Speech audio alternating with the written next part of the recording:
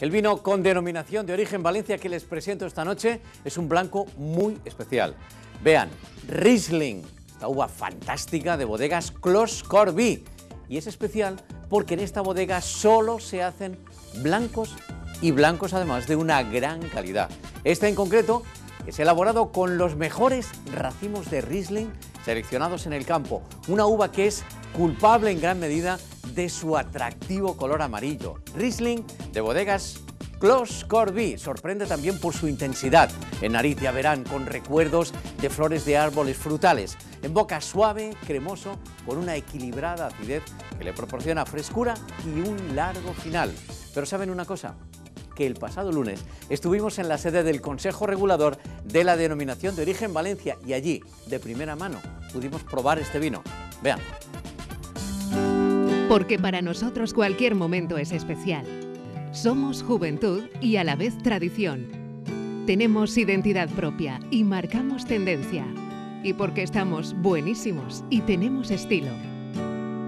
Vinos con la denominación de origen Valencia. Estamos de moda.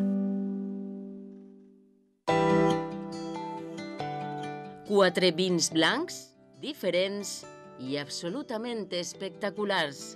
Són els nous vins de la bodega Clos Corbí, que ja s'han presentat oficialment i que reben crítiques excel·lents. Una bodega prácticamente, podríamos decir, nueva, que empezó hace muy poco, pero con unas variedades que solamente son la, las únicas que tenemos en toda la denominación de origen Valencia, como es el Riesling, como es la Viognier, y que está haciendo unos grandes vinos, que están teniendo muchísimo éxito.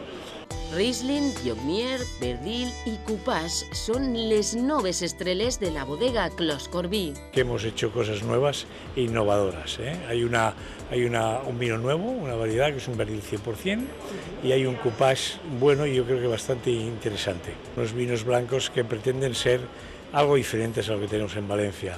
Algo que aporte un poquito más de cuerpo, un poquito más de sensaciones, un poquito más de vinos que seamos capaces de respetar y no solo respetar, sino ayudar a, hacer una gastronomía valenciana más poderosa. Son exclusivos, no, no son, son rarezas que tenemos de muy buena calidad, donde por ejemplo el Riesling marca mucho los aromas varietales del Riesling, matizados por el clima mediterráneo, como más fruta más madura, y en boca mantiene la acidez, pero es un vino más carnoso, más sabroso, que además eh, tenemos la suerte de que combina perfectamente con la gastronomía mediterránea.